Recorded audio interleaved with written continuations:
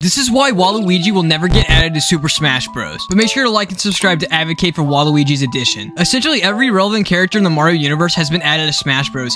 Even Bowser Jr. But for some reason, Waluigi has never been added. However, I've finally been able to uncover this mystery. It all goes back to the Wii Mario Strikers Battle League, when Waluigi scored a crucial goal against Team Goombas. And after this goal, Waluigi was banned due to his excessive celebration. Roll the clip.